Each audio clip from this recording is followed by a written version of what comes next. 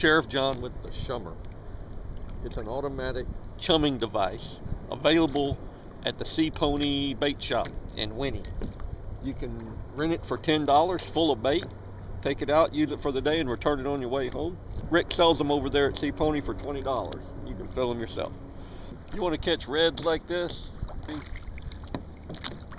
Use the Shummer. Hope you'll stop and give it a try.